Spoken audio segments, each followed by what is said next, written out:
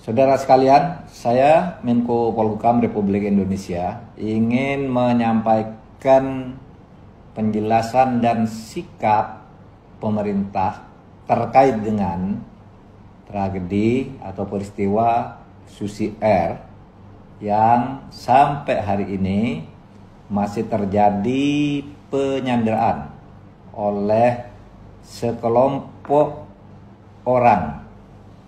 Kelompok kekerasan bersenjata di Papua atau KKB yang masih menyandera Kapten Pilot Philip Mark Mertens yang belum dilepas. Oleh sebab itu, maka pemerintah menyampaikan hal-hal sebagai berikut. Satu, pemerintah akan terus berusaha semaksimal mungkin untuk melakukan penyelamatan terhadap Sandra dengan pendekatan-pendekatan yang sifatnya persuasif karena yang diutamakan adalah keselamatan Sandra.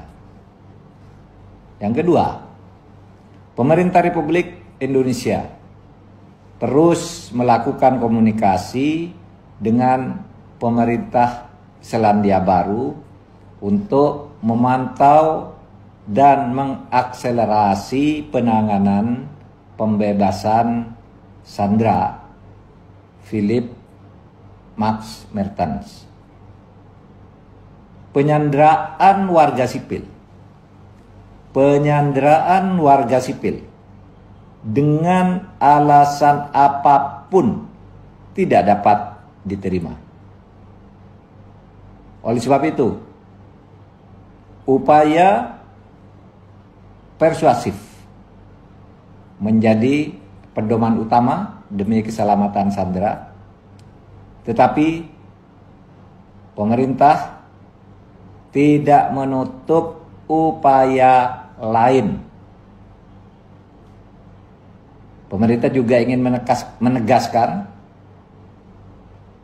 bahwa Papua adalah bagian sah dari NKRI, baik menurut konstitusi Republik Indonesia maupun menurut hukum internasional maupun menurut fakta yang sekarang sedang berlangsung.